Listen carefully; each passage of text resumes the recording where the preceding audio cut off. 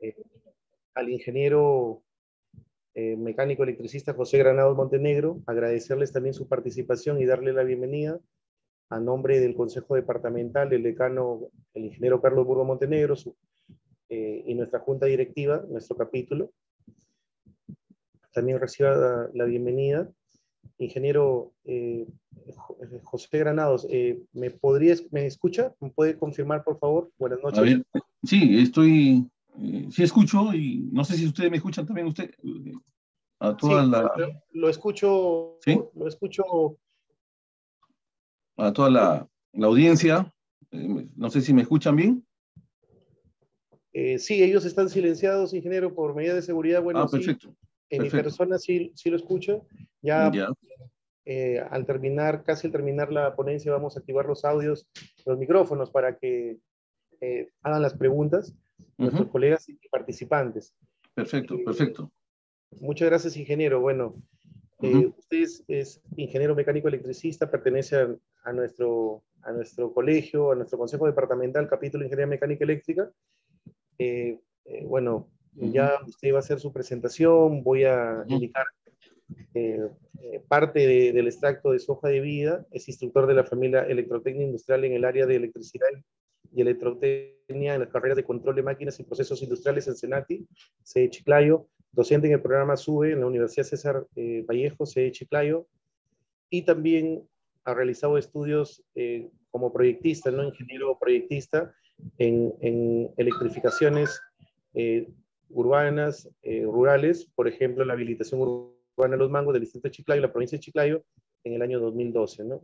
su currículo es más extenso, es un resumen que hemos coordinado para el flyer. Ingeniero, la verdad, agradecerle también eh, su participación es importante. Nuestra junta directiva, eh, bueno, ha, visto conveniente su participación, ya que usted en la gestión pasada también ha apoyado a la gestión del capítulo para poder impartir sus conocimientos en lo que es esta conferencia denominada paneles solares, componente fundamental de generación renovable, y en esta oportunidad también va a participar ya con conceptos actualizados y, y, también decirle a nuestros participantes que el ingeniero eh, va a dictar un curso, un curso ya al detalle, que también está, eh, nosotros lo vamos a compartir en la página del capítulo de Ingeniería Mecánica Eléctrica Lambayeque, para que ustedes también participen de este curso y los que son colegiados les va a llegar a su correo de manera, eh, de manera virtual a su correo para que los interesados también eh, puedan llevar el curso donde el ingeniero, nuestro colega, el ingeniero José Granados, va a ser el, el, ponente del curso. Ingeniero, eh, bueno, también reciba el saludo de nuestra junta directiva que lo conforma el ingeniero Freddy Dávila Hurtado como vicepresidente, también le da las, la bienvenida, el ingeniero eh, James Celada, un compañero vuestro, el ingeniero James forma parte de la directiva, es nuestro secretario del capítulo, el ingeniero electrónico, el ingeniero Carlos Oblitas Vera, también le da la bienvenida, forma parte de nuestro capítulo en el cargo de prosecretario, los ingenieros Juan Carlos Rentería Añí, los, eh, el ingeniero Luis Ramos Martínez, el ingeniero Julio Vilches Peche, el ingeniero eh, Julio Oblitas, el ingeniero Santiago Tello ellos en calidad de vocales también reciban eh, su saludo y también reciban toda la bienvenida de parte de ellos.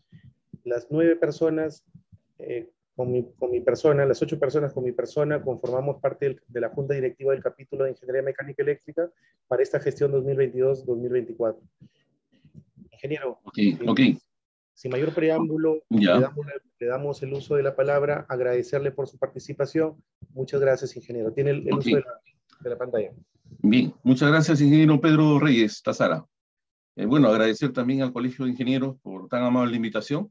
Para mí es un honor y un gusto eh, compartir esta charla con ustedes y compartir conocimiento, básicamente, que es lo que nosotros, eh, como docentes también, aún no eso, impartimos ¿no? en aulas o en universidades.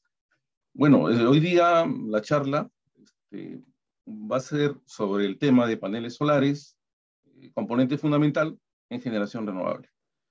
Eh, básicamente los temas que vamos a tratar es un poco de ver las, los recursos energéticos, una, un, breve, un, breve, contexto, el contexto general de, de, cómo estamos en el Perú en energías renovables, y de ahí tocar el tema de paneles, básicamente. ¿no? Vamos a hablar de los tipos, conceptos, parámetros especificaciones técnicas de los paneles, y ver algunos temas de cálculo con ustedes, para ver cómo se puede aplicar a los sistemas fotovoltaicos. Bien. Eso es básicamente el resumen de, de esta charla. Y al final puedes responder algunas inquietudes con ustedes, ¿no? Al terminar el, eh, el, la ponencia, ¿no? Bien, voy a activar mi cámara, no sé si se puede ver. Sí, se ve mi cámara, ¿no? Así es, ingeniero, sí. Ya, perfecto. Entonces voy, voy, a, voy a, a, a proyectar mi, mi diapositiva. A ver, por favor, un ratito. Voy a compartir.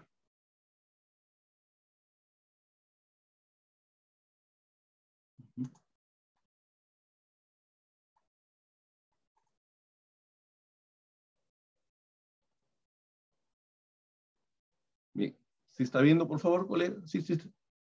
Confirme, ingeniero, si, está, si se ve la pantalla. Sí, sí correcto. Perfecto, entonces vamos a empezar, este, estimados colegas.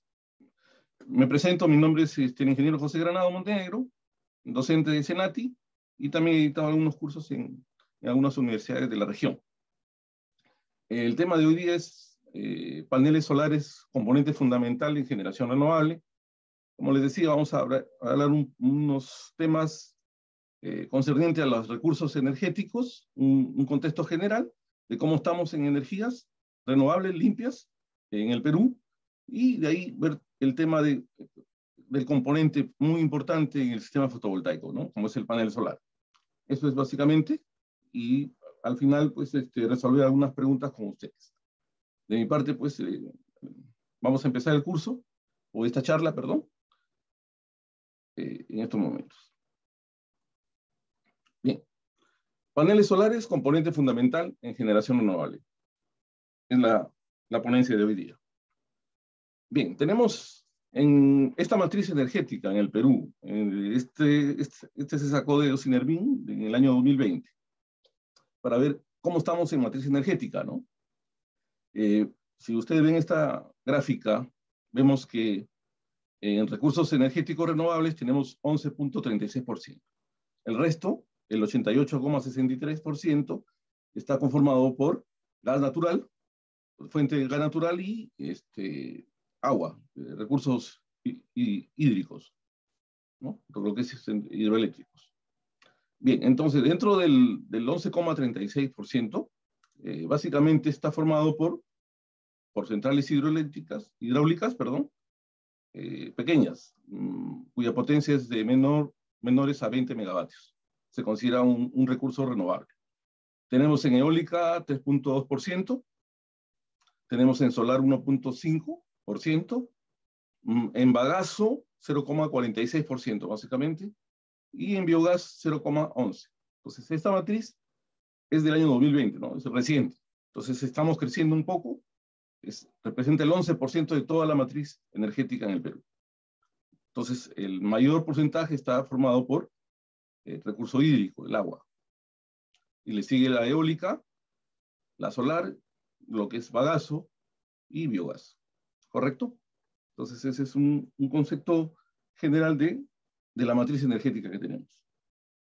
Entonces tenemos una producción total de 3.999 gigawatts hora y en red, en recursos energéticos renovables, tenemos 454.40 gigawatts hora. Bien. Este es un mapa de Osinermin, también le hemos sacado de la fuente Osinermin, de las centrales el, de, renovables en el Perú. En el, en el cuadro de, de, la izquierda tenemos todo lo que es eólicas, solares y biomasa. ¿Se dan cuenta? Eh, las eólicas son las, los puntitos naranjas, los solares son los puntos eh, amarillos y las térmicas los verdes. Si ustedes, si ustedes se dan cuenta, eh, la energía solar está en la parte sur en los departamentos de Moquegua, Arequipa y Tacna. ¿no? Tenemos siete centrales solares. Después tenemos en el centro, tenemos centrales térmicas, en Paramonga, tenemos en Huecoloro, tenemos en el, en el norte tenemos una de Maple, etanol en Piura, y las eólicas tenemos en Talara, tenemos en Trujillo, y acá en, la parte eh, de Ica, también en Marcona, en Guaira. El lado de la derecha tenemos lo que es centrales mini hidráulicas. Como les decía, son consideradas centrales renovables, eh, recursos renovables, porque tienen potencias menores a 20 megavatios. Tenemos, eh, como se indica en la figura, en Poechos, en Piura, tenemos en Caña Brava, en Carhuaquero, en Chiclayo, Carhuaquero 4, tenemos en el norte, en el centro, tenemos toda esa gama de, de centrales hidráulicas. Eh, actualmente son 41, pero funcionando más o menos están alrededor de 30. Eso lo vamos a ver más adelante. Es un breve resumen de todas las centrales red en el Perú. Entonces vemos que la hidráulica es de mayor porcentaje, ¿no? seguido de la eólica y la solar. Bien, este es el mapa solar del Perú.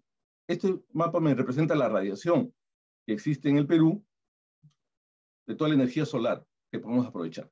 Si ustedes se dan cuenta, el mayor porcentaje de radiación está en la parte sur, de 7 a 7.5, ¿no? Eh, de radiación.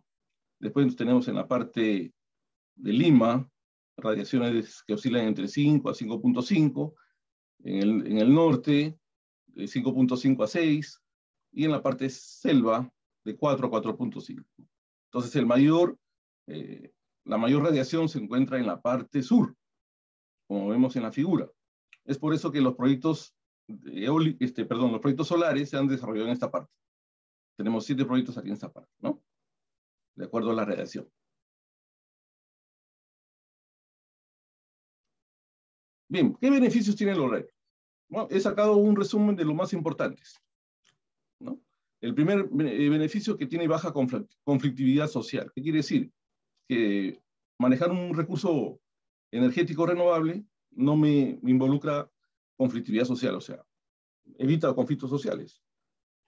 Es casi bajo en conflictos sociales. Tenemos que la minería es el más alto, representando un 64.2%, ¿correcto? Eh, después le sigue eh, en 14.6% tenemos los hidrocarburos. Entonces, en renovables tenemos más o menos de 5.7%. Es bajo. Rápida implementación. Eh, implementar un recurso renovable es, en tiempo es muy bajo. en eólica, por ejemplo, puede, eh, básicamente dura implementarlo 3.5 años. En lo que es termoeléctrica, 2,7, solar, 2 años y medio, 2.1 años, biomasa, 1.6 años. Entonces, eh, no, no, no me involucra un tiempo amplio para la implementación de un, de un recurso renovable. La implementación, ¿no? Bien. Otro, otro beneficio de los redes que permite diversificar la concentración de fuentes. Entonces, al tener una matriz diversa, es mucho mejor. ¿Correcto? Entonces, hemos visto que en, eh, en gas natural, por ejemplo, tenemos 37,2%. En hidráulica, 55,2%. ¿Correcto? Eh, y el resto son este, renovables, ¿no es cierto? Tenemos solar con 2,5, biomasa con, con 1,5 y y tenemos eh, eólica con 2,9%. Entonces, tenemos una matriz relativamente, relativamente diversa. También permite descentralizar la concentración geográfica en fuentes. Según el gráfico, la, la producción de energía según zona geográfica, para el año, en el año 2018, representaba en el norte eh, 8%, como hemos visto en los mapas anteriores en el centro es donde se concentran la mayor cantidad de, recursos renovables con 82%. Y en el sur, un 10%.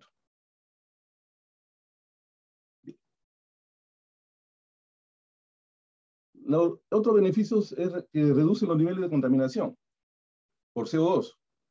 Entonces, eh, el transporte es el que tiene mayor este, porcentaje de emisiones, con un 42%. Tenemos eh, otras industrias con, 8, con, un, eh, con un 8%, el 18% se refiere a industrias manufactureras y generación eléctrica y calefacción con un 24%. No, no, no, no, emite mucho CO2, los, los recursos naturales renovables. Otra también es que disminuye la brecha de, acceso rural. Tenemos una gráfica que, por ejemplo, el, el, acceso rural a la electricidad en el 2017, por ejemplo, países como Uruguay tienen el 100%, ¿no? Eh, Panamá 100%, Ecuador, Chile. Si nos vamos más abajo, eh, el Perú tiene un 83,68% de acceso a la electricidad. O sea que era un 17% de, de, población que no tiene acceso a este tipo de energías. Entonces, el reto es llegar al 100% en los próximos años. ¿Correcto? Bien, un breve resumen de los proyectos ejecutados en el Perú. Eh, ustedes saben que el gas natural empezó en el 2004 después de 10 años, este, según el decreto 1002, se han ejecutado cuatro subastas RER. Eh, eh, en total, se han, se puesto en, subasta 65 proyectos, equivalente a, a una cantidad de potencia de 1.283 megavatios, generando una inversión de 1.957 millones, según muestra a continuación. Entonces, todos estos proyectos hay en la actualidad tenemos centrales de biomasa 5, centrales eólicas hay 7, eh, eh, hidráulicas, en operación, en total hay 46, en operación solamente 31, y las centrales solares 7. En total de proyectos hay 65, con una potencia de 1.283 megavatios. ¿Correcto? Eso es lo que tenemos ahorita, en la actualidad. Todos los proyectos eh, con recursos renovables. Bien, vamos ahora a ver todo lo que son redes solares. Eh, los redes solares tenemos siete. Están ubicados en la parte eh, sur, en los departamentos de Moquegua, Arequipa y Tacna. El más importante es Rubí, con una potencia de 144,5 megavatios. Después le sigue Intipampa, con 40 megavatios, Panamericana con 20, Moquegua 16, Majes 22, repartición también 22 y Tacna Solar con 20 megavatios. Entonces, todas, estas son centrales solares interconectadas al sistema eléctrico interconectado. Vamos a ver un breve resumen de algunas de ellas.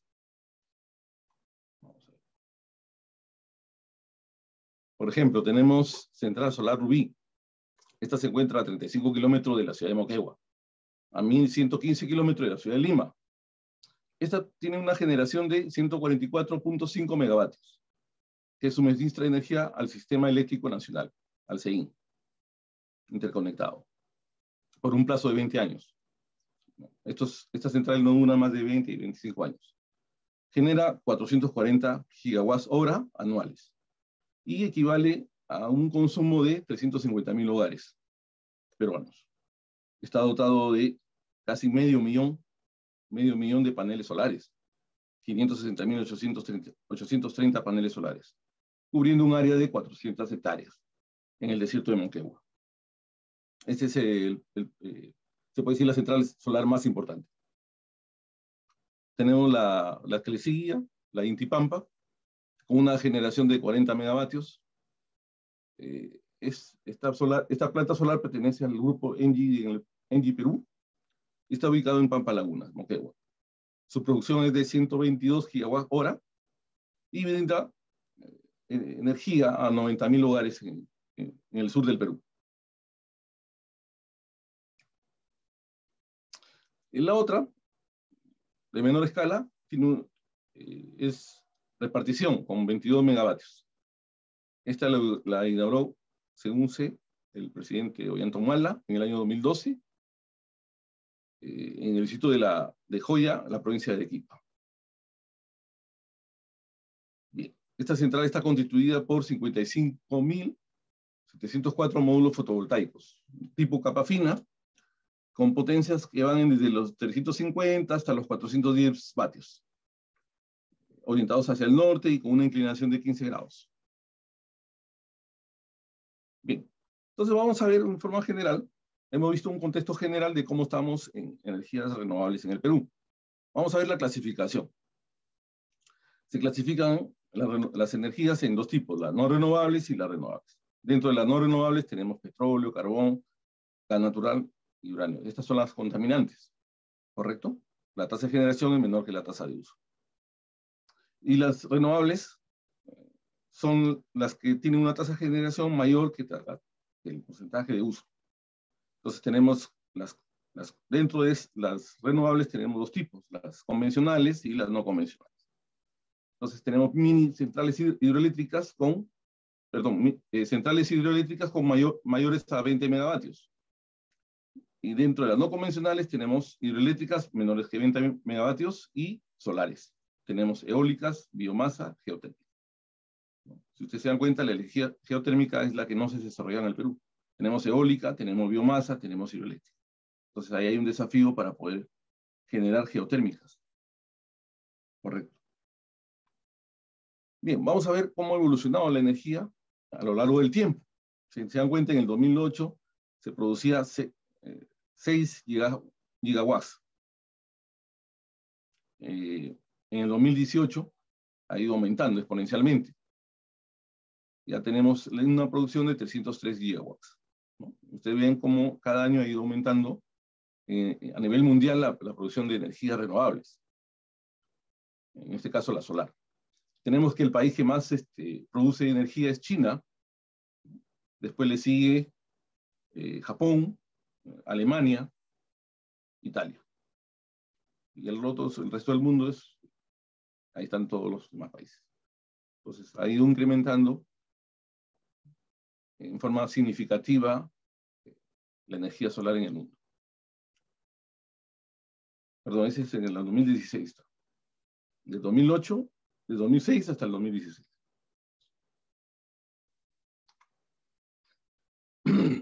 Bien, entonces, este, también los precios, ¿no? Los paneles solares antes eran muy costosos, las células o las celdas. Entonces, a lo largo del tiempo, miren, una celda solar costaba 76 dólares. Eh, ahora en el 2015 mm, están costando 0,3. Al 2020 están en 0,25 más o menos eh, en promedio. Entonces, eh, han bajado significativamente los costos de los paneles en los últimos 38 años. Más del 98% en reducción. Entonces ahora no es tan costoso y cada día aparecen buenas y nuevas tecnologías en fabricación. Bien, vamos a ver ahora unos conceptos básicos eh, en qué se basa el principio del panel solar. Tenemos el efecto fotoeléctrico, ¿correcto?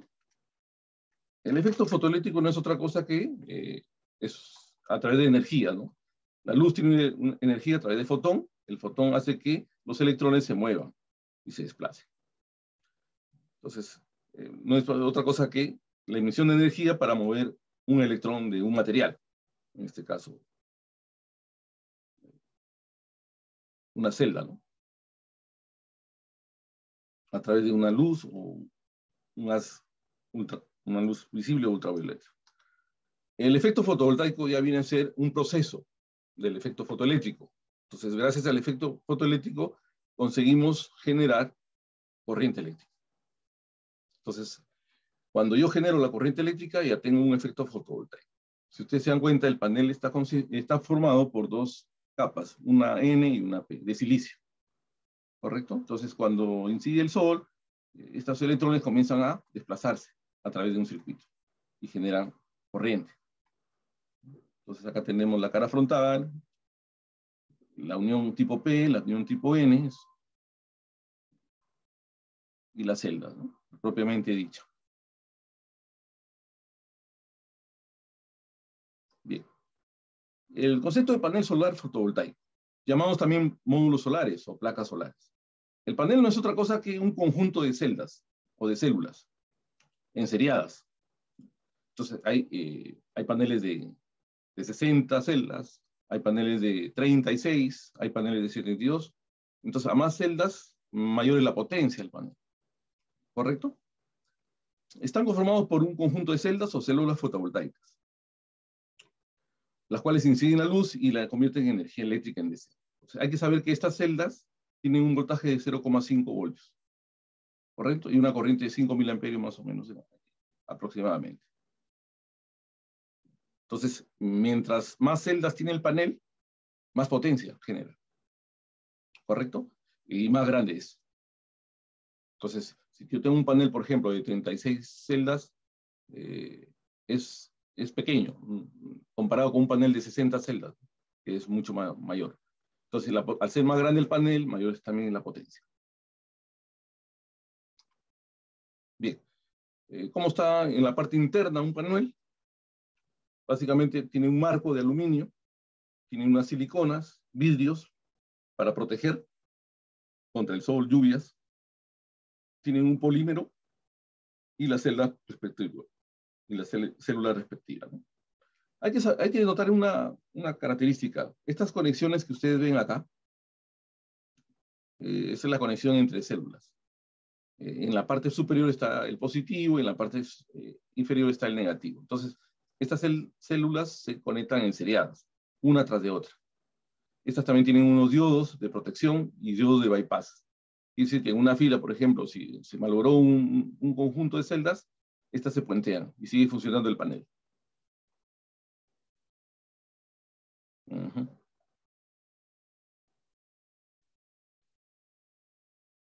Se cortó, parece la... Bien.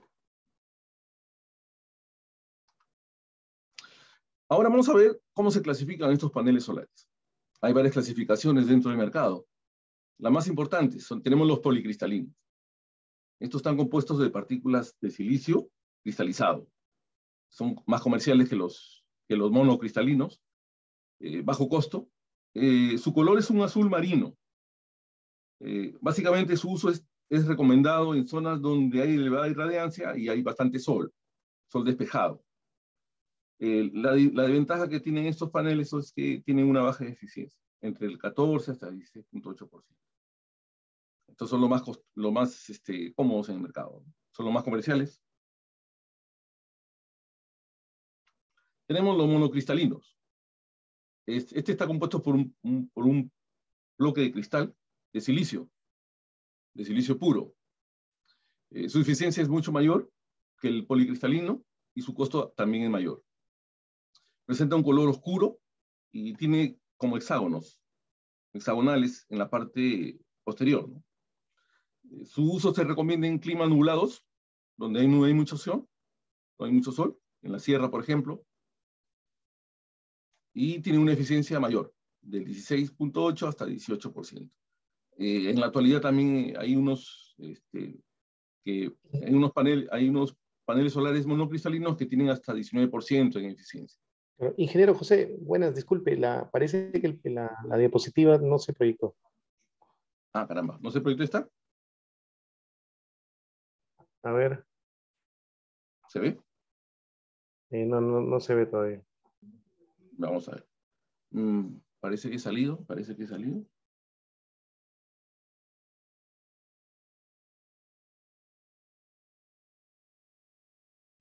Tiene que proyectar la PPT. No, la, claro, ahí está. Ahí, está? Sí, ahí está, ingeniero. Ya, perfecto. Ahí está. Tenemos los monocristalinos. Voy a repetir esta parte. Este está compuesto por un bloque de cristal puro, de silicio, y con una eficiencia mayor que los policristalinos. Tiene un color oscuro y eh, forma, eh, tiene unos hexágonos. Se forman unas figuras hexagonales muy llamativas. Su costo es mayor, hemos dicho, eh, por su proceso de fabricación. Eh, su color es oscuro y, se recomienda el uso para zonas donde hay eh, nubosidades, zonas donde no hay mucho sol, en otras palabras, en la parte central, la parte sierra. tiene una eficiencia de 16.7, de 16.8 hasta 18.7%, más o menos. Tenemos el monocristalino PER. Este es eh, un complemento del anterior. Este tiene una lámina, una lámina eh, que le permite eh, una mayor captación de electrones. Entonces, al, captar mayor electrones, es mejor su potencia, su característica para lograr una mejor eficiencia. Entonces, acá tenemos eficiencias del 19 hasta el 20%. El monocristalino PER. Tenemos el de capa fina. Este se presenta una, como una innovación. Estos ya se están dejando de usar. Estos se usaban hace unos 10 a 15 años, pero digamos no eran muy, muy este, eficientes. Entonces se han ido dejando de lado en algunos este, proyectos. ¿Por qué le llaman capa fina? Porque son dos láminas de vidrio templado y resulta un producto más liviano, versátil, no pesa mucho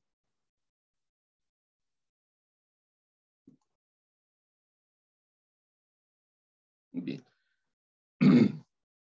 Lo más importante son módulos de capa delgada de cobre, tienen nuevos eh, material indio y selenio.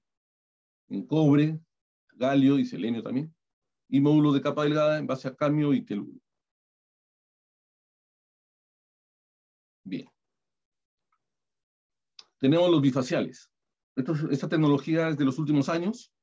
¿Qué quiere decir? Que tiene, el panel consta, eh, tanto en la cara superior como la anterior de, células. Los bifaciales están fabricados con una lámina posterior transparente o de vidrio templado. Los paneles bifaciales están eh, enmarcados generalmente en que gana mayor potencia el panel, en un, 30-40%, con respecto a los convencionales, ya que eh, capta la energía en la parte superior y también capta energía en la parte inferior, en la parte trasera, digamos, del panel produce energía en ambos lados de un módulo bifacial. Entonces, al, producir mayor energía, es mucho más eh, provechoso. Acá tenemos una gráfica, miren, cómo capta el sol en la parte superior, es una incidencia directa, y esta es una incidencia reflejada. Entonces hay que tener en cuenta, por ejemplo, para reflejar eh, la luz solar, que el, piso sea un material reflectante. Normalmente a veces este, cuando colocan estos paneles eh, se le pinta un color blanco, un color aluminio, por ejemplo, en, eh, en la parte del, del, suelo, para poder reflejar los rayos eh, en la parte posterior del panel. ¿Correcto? Bien, por el número de células o número de celdas, también hay otra clasificación. Estos son, por ejemplo, paneles de 36 celdas. Están conformados por cuatro columnas y nueve filas. Este tiene un voltaje aproximado a los extremos de, los, cables de 18 voltios. Esto es recomendable para sistemas a 12 voltios. Su aplicación es rural por los bajos consumos. Eh, tenemos en dimensiones 1,50 eh, por 0,66 metros. Pesan 13 kilos. Tiene un IP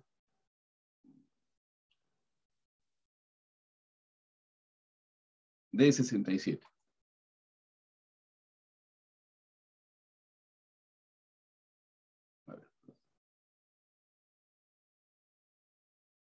Bien. Tiene una protección IP67. En policristalinos tenemos de 30 a 150 en potencias, en monocristalino de 30 a 170 vatios y en monocristalino PER de 180 vatios. Como les dije, estos son ideales para sistemas rurales, donde se necesitan bajos consumos sistemas fotovoltaicos aislados, se podría decir. Bien, tenemos paneles de 60 celdas. Estos paneles están formados por 6 columnas y 10 filas. Y 10 filas. Tienen un voltaje a la salida más o menos de 30 voltios. Si, si nosotros este, sacamos la, la, relación, por ejemplo, yo les decía que una celda eh, en voltaje tenía 0,5. ¿no? Si yo los enserio, 60 eh, por 0.5 me da 30 voltios. Este es un voltaje a la salida, en voltaje en circuito abierto, por ejemplo. Su aplicación son sistemas autónomos a 24 o 48 voltios. Estos se pueden conectar a red o se pueden, se pueden conectar a, sistemas este, un poquito más grandes, rurales, pero de mediana potencia. Su, eh, uso es, este, se pueden aplicar a reguladores MPPT, que vamos a ver en, en el curso que vamos a editar, sus características y su funcionalidad.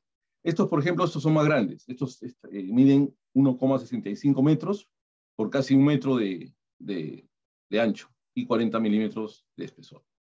Su peso es de 19 kilos, tienen un IP67 y en potencias son más grandes. Por ejemplo, tenemos policristalinos eh, de 260 a 280 vatios.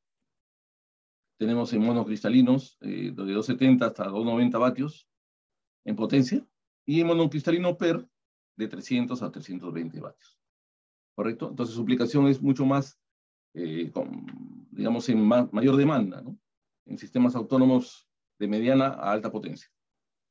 También se puede usar también en sistemas conectados a red.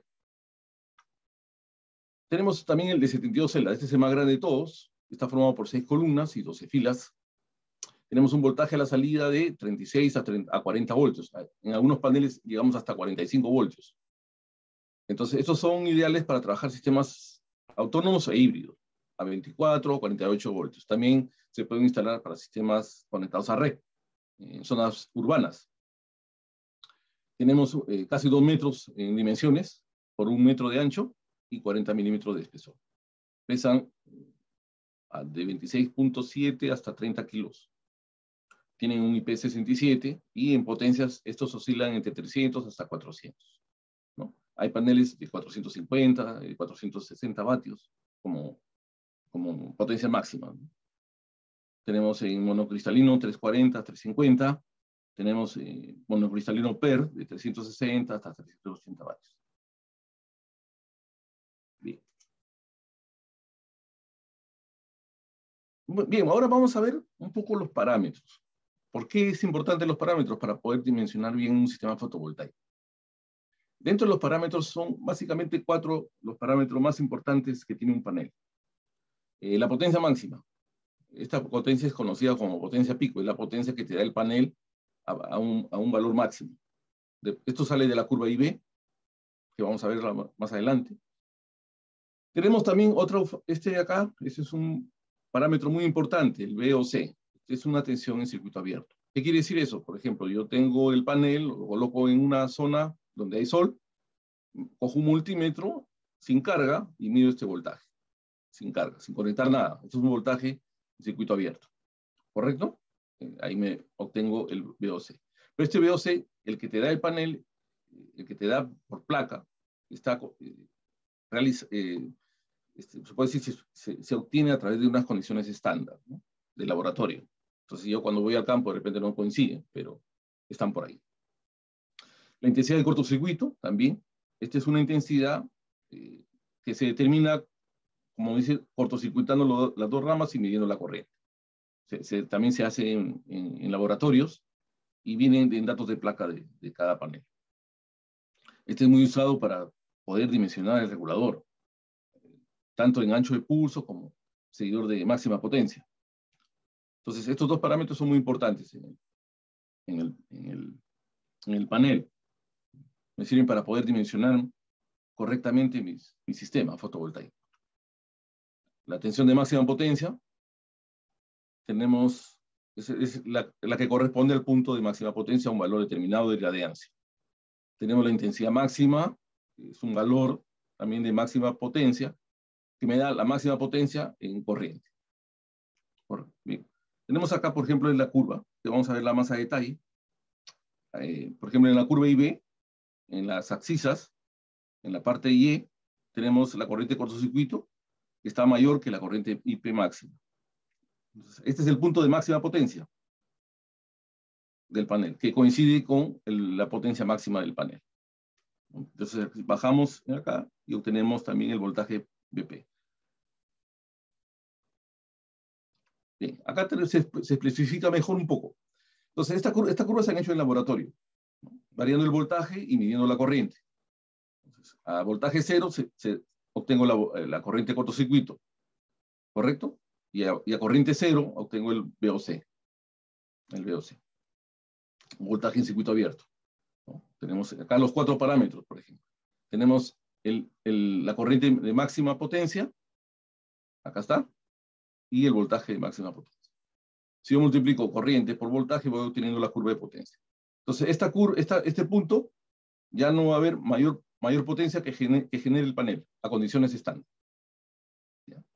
Entonces, aquí tenemos, lógicamente que estos, estas corrientes y estos valores son de laboratorio, pero ya cuando tenemos que ir a campo o instalar el panel en una determinada ciudad, se ven afectados por la temperatura y por unos, y por unos este, factores. ¿Correcto? Entonces, aquí esta es la curva obtenida de laboratorio. Acá tenemos la corriente de cortocircuito, tenemos el voltaje circuito abierto, la corriente de máxima potencia y el voltaje de máxima potencia. Si se dan cuenta, el VOC es mayor que el voltaje de máxima potencia. Y la corriente de cortocircuito tiene que ser mayor a la corriente de máxima potencia.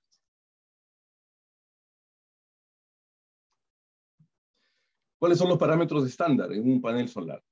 Tenemos dos condiciones. Condiciones estándar, STC, y condiciones TON, o temperatura nominal de operación.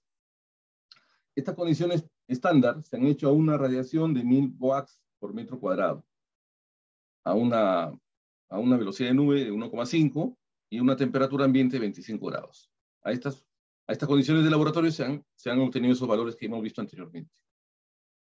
En lo que es radiación, en lo que es radiación, eh, a temperatura de operación nominal de la célula, estas se han hecho a una radiación de 800 watts metro cuadrado a una nubosidad de 1,5, a una temperatura ambiente de 20 grados y una velocidad de viento de 1 metro por segundo.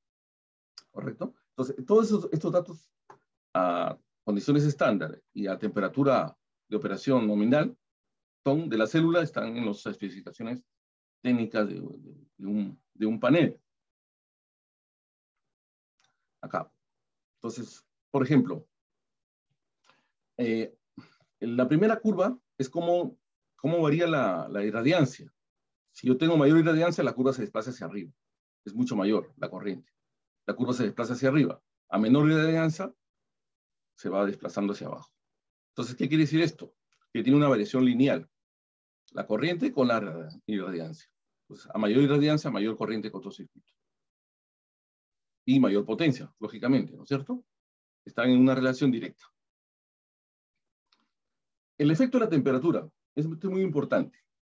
¿Cómo varía la temperatura con respecto a las curvas? Si ustedes se dan cuenta, por ejemplo, eh, a temperatura normal, que es 25 grados, si yo aumento la temperatura, si se dan cuenta, el VOC se desplaza hacia la izquierda, hacia la izquierda, miren, hacia, para, acá, hacia la izquierda. Y si yo tengo menores temperaturas que la temperatura ambiente, el VOC se desplaza hacia la derecha. Esto es muy importante. ¿Por qué? Porque el VOC disminuye o aumenta. Si el VOC disminuye, quiere decir que eh, es perjudicial. No, es, no, es, eh, no me conviene que el VOC disminuya. ¿Por qué? Porque voy a tener menor potencia entregable al sistema. Esto lo vamos a ver en otra gráfica. Entonces, eh, si yo llevo el panel, por ejemplo, a una ciudad calurosa, por ejemplo, Tarapoto, la potencia va a bajar en un 10% con respecto a la nominal, por el, por el efecto de la temperatura si este panel yo lo llevo a la ciudad de, a una zona este, fría, por ejemplo, Huancavelica, Purima, ahí voy a ganar en potencia. de repente puede aumentar hasta un 15% la potencia que, que, me da el panel. ¿Por qué? Porque el VOC se desplazó hacia la derecha. Al desplazarse, aumenta la curva de potencia. ¿Ya? Y si ustedes ven, el ICE, la corriente de cortocircuito no, no varía mucho con el efecto de la temperatura. Eh, es casi imperceptible, ¿no? Entonces sí afecta el VOC, la temperatura. Es más preponderante, digamos. Acá se puede ver mejor. No sé si lo podemos ver aquí. Miren. Si se dan cuenta, este, la primera, la gráfica de arriba, tenemos la temperatura ambiente, la marrón, que es a 25, está en este punto. Si yo aumento, por ejemplo, eh, la temperatura a 50, es la roja, disminuye el VOC. ¿correcto? Y si aumento la temperatura a 75, disminuye, es la color rosada. Entonces va a, disminuir la potencia entregada. En cambio, la, la azul está a 0 grados. Disminuye la temperatura, el VOC se desplaza hacia la derecha. Entonces, miren acá, en potencias. Correcto. La, la marrón es la potencia nominal, digamos, puede decir, en condiciones normales, estándar, a 25 grados. Si yo disminuí la temperatura a 0 grados, hay más potencia de, generación. Correcto. Entonces, me conviene, ¿no? En cambio, si yo aumenté la temperatura a 50 o a 75, la potencia de generación disminuye. Entonces, es muy importante la temperatura, cómo influye en los paneles, en dónde voy a instalar mi panel. ¿Correcto? Entonces, a eso voy. Estas son las formulitas, como les decía. Eh, por ejemplo, esta es la temperatura de la célula. Este dato de la temperatura ambiente, por ejemplo, estamos trabajando a 25 grados. Este, estas temperaturas lo saco de datos del data chi o de la, de la hoja de especificaciones. Este es un valor. Y este es a 1000. Este es una, en, la irradiación a 1000, entre 800. Y acá tengo saco la temperatura de la célula. Y acá tengo los parámetros de cómo influyen en la corriente de cortocircuito, en el VOC y en la potencia. Como les decía, el VOC es importante, ese dato. Acá no, no varía mucho, como lo dijimos en las, en las gráficas, no, no, no se desplaza mucho la ICC, la I de cortocircuito, más el VOC se desplaza con respecto a la temperatura. Entonces aplico estos factores, estos, estos alfa, beta, gamma, los saco del datasheet o de la hoja de especificación del, del, del panel. Eso lo vamos a ver de aquí, de aquí luego. Esta es la temperatura de célula calculada acá, en forma general, y obtengo el VOC, por ejemplo, a, a una temperatura eh, del ambiente, donde, del lugar donde voy a hacer la instalación. Si es en la selva, por ejemplo, a 40 grados, 38 grados. Si es en la sierra, de repente, ¿no? A menos 3 grados. Donde voy a instalar el panel, tengo que afectar de estos valores para poder hacer un cálculo más real. ¿Ya? Porque con esto se hace el diseño. El diseño del regulador, de la, del controlador, de las baterías. Tenemos este, por ejemplo, este ejemplo bien práctico. Eh, por ejemplo, este, este panel está a condiciones estándar, dato de placa, tiene 44 voltios en VOC, eh, a 25 grados, como les decía, condiciones estándar. Este, este, este panel tiene un coeficiente de menos 0,34% por grado centígrado. Varía eh, en 0,34% por cada grado centígrado. Entonces, me piden, por ejemplo, el valor de VOC a una temperatura de célula de 50 grados. Entonces, ya me dan el dato de la temperatura de la célula. Entonces, lo que hago es calcular el beta, B porcentual, entre 100 por VOC. Este valor lo saco de acá, entre 100 por 44, que es el valor a condiciones estándar. Obtengo 0,1496 voltios. Aplicando la fórmula, como les decía, VOC a 50 grados es igual a VOC más beta por la temperatura de la célula, que era 50, acá dato, menos 25. Entonces obtengo que a 50 grados, este panel, llevándolo a 50 grados, obtengo 40,25 voltios, menor. O sea, normalmente a condiciones estándares 44 voltios, pero a 50 grados es 40.25. ¿Qué quiere decir? Que disminuyó el VOC disminuyó. Entonces eso es perjudicial. Lógico porque eh, como consecuencia tengo menos potencia para poder generar en el panel. Entonces todos estos datos que hemos visto, colegas, están en, unas, en unos data chips que vamos a ver acá. Vamos a ver. Vamos a ver acá.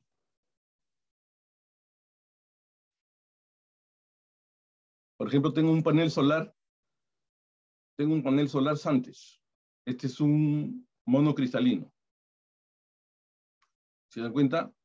Esta es la, eh, la durabilidad del panel a lo largo de los años. Normalmente dura, tiene un tiempo de vida de 25 años. Tiene un IP68, por ejemplo, eh, tiene una protección muy, muy buena. Acá están los parámetros que le decía, por ejemplo. Estos son los parámetros eléctricos. el VOC. Acá está el VOC, por ejemplo, de un panel de 405 vatios. Tiene un VOC de 49.2 voltios. Miren. Y la corriente de cortocircuito 10,24. Si se dan cuenta, eh, la corriente B, B, máxima, el voltaje máximo es 42 voltios, es menor que 49. Y la corriente máxima es 9,65, menor que la corriente de cortocircuito, que es 10,24. Entonces, estos son los parámetros que hemos visto anteriormente. El, eh, también hemos visto, eh, por ejemplo, este panel tiene un máximo voltaje de 1000 en corriente continua. O sea, puede soportar 1000 voltios en corriente continua. Y las temperaturas de operación este, oscilan entre menos 40 hasta 85 grados. Condiciones estándar. Eh, bien, estos son los parámetros que les decía. Por ejemplo, este es el TON. El TON, la temperatura de operación nominal de la célula, acá está. En la parte de acá, no sé si logra ver, es de 42, 42 grados más menos 2 grados centígrados. Tenemos los coeficientes, por ejemplo. Este coeficiente VOC es 0, menos 0,34. Este de acá en potencia es 0,37 negativo. Y en ICC es 0,05. Este de acá no varía mucho. Entonces nosotros tenemos que darnos cuenta en el VOC. Mientras menor sea este porcentaje, mucho mejor es el panel. Mucho mejor. Entonces tenemos, por ejemplo, este de acá, este es un panel, eh, este es un policristalino de marca italiana, de 72 células. Acá tenemos los parámetros eléctricos. Por ejemplo, este acá tiene, eh, por ejemplo, una potencia, una potencia de 340 vatios. Tenemos una, un VOC de 45.2 voltios y una corriente de cortocircuito de 9.9 amperios. ¿Estamos? No sé si se logra ver bien. Vamos a ver ahí. Ahí está. ¿No? Acá están las, corrientes VOC y, y, CC. A condiciones estándar. Acá. ¿Y cuáles son eh, la temperatura, por ejemplo, de, operación nominal? 45 grados, más o menos 2 grados. Miren, este de acá tiene 0,32. ¿Estamos de acuerdo? Entonces, comparándolo con el, con el Santes, el Santes tenía 0,30. ¿Cierto? 0,30. Es mejor, porque este tiene 0,32. O sea, el Santes le da mucha mejor, este, una menor caída de tensión con respecto al, al a este italiano Paymar, que da 0,32. Entonces, mientras menor sea este valor, el circuito abierto es mejor. Lógicamente encarece un poco el producto. ¿no? Y acá tenemos las dimensiones del panel, los tipos de células que tiene, 72 celdas, las dimensiones de cada celda. ¿no? Tenemos eh, los diodos de bypass, por ejemplo, si tiene tres diodos de bypass, tiene un certificado, tiene una protección IP67. ¿no? Entonces, esas son las condiciones de un, de un, de un panel, por ejemplo, policristalino que está acá, de 340 vatios. Entonces, ustedes pueden bajar esta información de cualquier página de internet y acá están las curvas características, como les decía, ¿no? A, una, una, radiación de 1000 es mayor, la curva se desplaza hacia arriba, de 800 va disminuyendo, 600, y así sucesivamente. Entonces, esta es la curva IB, corriente, voltaje. Si ustedes se dan cuenta, por ejemplo, a 25 grados es la curva negra. A 50 grados es la roja, la roja se desplazó hacia la izquierda, ¿no? es menor. Y a 0 grados es la verde. Entonces, el efecto de la temperatura influye en el panel, en las características básicamente de potencias. Bien.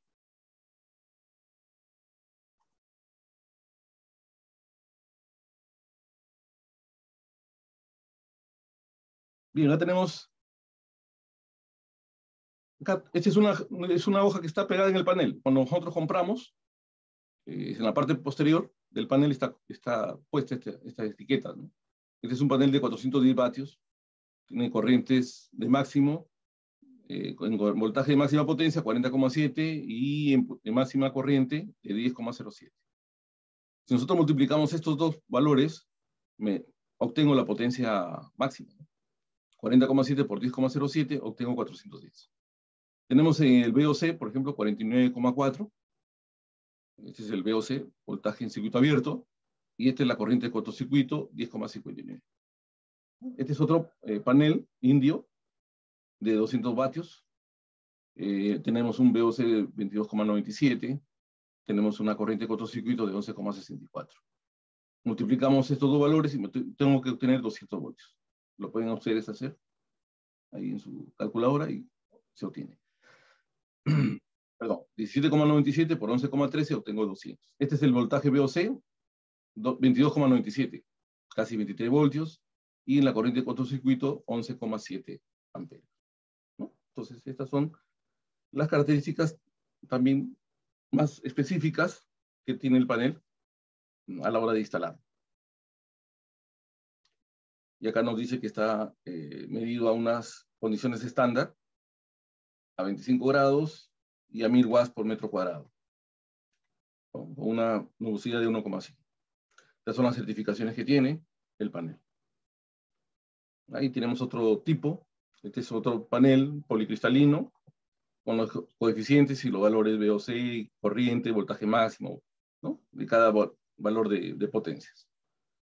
Entonces acá están los coeficientes, por ejemplo, este tiene que ser menos 0,33, mayor que los anteriores que hemos visto. Entonces este es un panel policristalino, económico, no es muy caro, en la temperatura de operación de 40 a 85 y tiene una temperatura nominal de la célula de 45 grados. Acá está más resumido también. ¿No? Entonces acá tenemos una tablita de, de cada, por ejemplo, esto, estos son los que hemos sacado de una tabla, de un panel de 100, de 150, de 270. ¿no? De 100, por ejemplo, tenemos corriente con su circuito de 6,21, un VOC de 18,8, ¿cierto? un voltaje máximo de 7,3 y una corriente máxima de 5,78. Esto lo sacamos de, de, de la hoja de especificaciones. Tenemos otro panel de 150, tenemos estos valores de 270, ¿no? Si se dan cuenta, va aumentando el VOC a medida que aumenta la potencia del, generador. Tenemos en 100, 18,8. Eh, y en 300, 40.1, miren. 40.1. Entonces, este panel de 300 eh, es ideal para trabajarlo en 24 o 48 voltios. El de 330 igual, 46,9 voltios. Esto sirve para poder eh, hacer el cálculo de, del regulador y de las baterías. Si ustedes se dan cuenta, esta, multiplicación de, de B máximo con I máximo obten, obtengo la potencia del generador. ¿no? Es una tablita bien práctica que le hemos sacado de, los, algunos paneles eh, de las hojas de especificaciones. Entonces, ahora vamos a ver cómo se conecta. Una vez que tenemos ya eh, el panel que hemos elegido, eh, de acuerdo a, a, la demanda en energía, estos se conectan en serie o en paralelo. Si nosotros tenemos una conexión en serie, es simplemente conectar positivo y negativo una tras de otra. ¿No es cierto? Todos son acá electricistas. Ustedes saben que si yo quiero enseriar algo, eh, conecto positivo y negativo sucesivamente. Entonces, cuando yo conecto en serie, la corriente permanece constante, pero el voltaje aumenta. ¿Estamos de acuerdo? Cuando yo conectaba baterías, por ejemplo, baterías, los voltajes se van sumando, pero la corriente es la misma. En conexión paralelo, aquí cambia. Por ejemplo, todos los polos positivos van a un mismo punto y los polos negativos van a otro punto. ¿Correcto? Entonces, cuando yo conecto en paralelo, ¿qué pasa? El voltaje se mantiene, pero las corrientes aumentan. ¿no? Acá tenemos la gráfica. Por ejemplo, este es un panel, por ejemplo, de, eh, de 12 voltios, 200 watts, ¿correcto? Entonces, si yo conecto acá, eh, 12 voltios más 12 voltios más 12 voltios, tengo 36 voltios a la salida. Y una corriente de, eh, creo que la corriente es de, no me dice la corriente, pero son de 200 watts cada uno. En conjunto tengo 600 watts. La corriente se mantiene constante. Un dato muy importante, como les decía, cuando yo tengo paneles, un conjunto de paneles, se recomiendan que todos sean de la misma marca. Porque, por ejemplo, si yo tengo cuatro paneles y uno de distinta marca, varían los corrientes y varían los voltajes. Entonces, siempre en un, en un, sistema fotovoltaico se recomienda que todos sean de la misma marca y, sean, y tengan también la misma el mismo tiempo de, de, compra o, o, el mismo tiempo de fabricación. Porque con el tiempo usted sabe que los paneles van degradando su potencia. Igual cuando conectamos en paralelo, tenemos acá, eh, estos son a 12 voltios, creo, ¿sí? y la corriente se suma. El voltaje permanece constante y, y, y la corriente se suma. ¿No? Acá tenemos también un, eh, otro ejemplo eh, miren, esta es una conexión en serie. Se va conectando el positivo a un terminal, el negativo va al, siguiente panel, el, eh, al, positivo, el negativo del, segundo panel va al positivo del tercer panel, el negativo del tercero va al positivo del cuarto panel. Entonces, miren, los voltajes se van sumando de cada módulo. Y la corriente es la misma. Y cuando tengo un paralelo, Acá están los diodos para poder proteger el sistema, el sistema. Entonces, en paralelo voy todos los positivos a un punto y todos los negativos al otro punto. Entonces, el voltaje va a ser el voltaje de un módulo, pero las corrientes van a ser la suma de las de los cuatro eh, paneles. Acá, y acá son combinaciones, por ejemplo. Acá tengo combinaciones de paralelos y series. Eh, si ustedes se dan cuenta, en el lado izquierdo, a ver, por favor, eh, tenemos acá, por ejemplo, 2, 4, 6, 8, 9, 9 paneles y 9 paneles abajo. ¿Se dan cuenta? O sea, hay 9 paneles enseriados y 9 paneles enseriados abajo. ¿Y qué pasa? Esos 9 paneles enseriados llegan a una caja de borderas y se conectan en paralelo ambas tiras o ambas, ambas este, cadenas. Entonces, por ejemplo, eh, en la práctica, esta es una cadena, por ejemplo, de 2 por 9. O sea, dos paralelos, dos, dos paralelos y 9 enseriados. Hay 18. Entonces, eso es una cadena de 2 por 9. ¿Correcto? Entonces, eh, el voltaje, por ejemplo, de 25,6 por, por 9, obtengo acá, lo obtengo acá. Y en corrientes sería 6,4 más 6,4, 12,8. No sé si me entienden. Entonces acá tengo 25,1 por 9. Más o menos es 215 por ahí voltios. Y 12.8 eh, amperios. Es una combinación. Esta es, otra, es una combinación de 3. 3 en serie y en paralelo 2. 2 por 3. Es, una, es un producto de 2 por 3. 6 paneles. Entonces, acá tengo, por ejemplo, la salida 105 voltios. Correcto, 35 más 35 más 35, 105 voltios. Pero como están en paralelo, 8 arriba y 8 abajo, esta caja de borneras obtengo 105 voltios a la salida y 16 amperios. Eso eh, ya más a detalle lo vamos a ver en el curso que vamos a llevar. Tenemos otro parámetro que es factor de forma. El factor de forma eh, determina la relación entre la potencia máxima y el producto de VOC por IC. Estos, factores de forma, estos son los parámetros eléctricos. Obtengo este factor de forma. Si es silicio, oscila entre 0,5 y 0,6, y si es silicio cristalino, entre 0,7 y 0,8. Esta es la eficiencia, como les decía, del panel. Mm, es la potencia máxima entre la potencia de generación por el área. Este es 1000. La, eh, esta es la radiancia por el área del panel. ¿correcto? Esta potencia, como le decía, varía. Si es policristalino, es del orden del 15% al 16%. Si es monocristalino, puede llegar hasta 18, hasta 19%. Ahora, también en la actualidad, los, los monocristalinos PER pueden llegar hasta 21% en eficiencia. Bien, otro factor muy importante es la energía que produce este panel. Esto tiene o depende mucho del, del tipo de panel, de las horas sol pico y la, de la, y la energía que produce. ¿No? Entonces, miren, por ejemplo, en condiciones estándar, esta es la potencia del panel. Por ejemplo, si yo tengo un panel de 100 y estas horas sol pico, por ejemplo, que sean de 4, 100 por 4 serían 400. ¿Cierto? 400. Por la eficiencia, este dependerá del sistema puede oscilar entre 0.6 a 0.7. Estas horas sol pico vienen a ser la radiación. que, obtengo en un determinado lugar. ¿no? Estos salen de un mapa solar. Este sale del mapa solar. Y también el efecto de unos factores, dependiendo de las condiciones climáticas. ¿Ya? Entonces, esta es la condición del, este es eh, la, la, potencia de un panel, por ejemplo. Esta es las horas sol pico, y esta es la eficiencia de la instalación, que puede oscilar entre 0,6 o 0,9. ¿Correcto? Ahora, esta, esta potencia del panel también es voltaje máximo por la corriente máxima, por las horas sol pico y por la eficiencia. Y tengo la energía producida. ¿Correcto? Entonces, esta energía producida del panel tiene que ser igual a la, a la consumida o a la, a la energía que demanda mis cargas para poder dimensionar correctamente. Entonces, si yo tengo, por ejemplo, eh, un consumo de 1000 de mil watts hora, entonces este, este 1000 watts hora de consumo tiene que ser igual a esto, para poder sacar la potencia del panel. ¿No? Eso es.